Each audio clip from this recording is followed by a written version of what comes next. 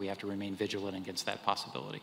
In testimony before the Senate Armed Services Committee on Tuesday, senior Pentagon official Colin Kahl told Congress that Islamic State in Afghanistan could have the capability to attack the United States in as little as six months and has the intention to do so.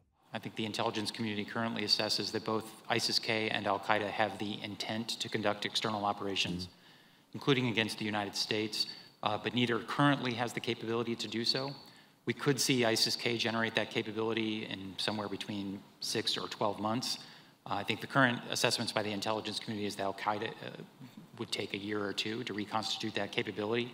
The remarks from Kahl, the Undersecretary of Defense for Policy, are the latest reminder that Afghanistan could still pose serious national security risks for the U.S. even after pulling all troops out of the country in August, ending its two decade old war in defeat. The Taliban, which won the war, are enemies of Islamic State in Afghanistan, also known as ISIS K, and have seen its attempts to impose law and order after the U.S. pullout thwarted by suicide bombings and other attacks claimed by the terrorist group.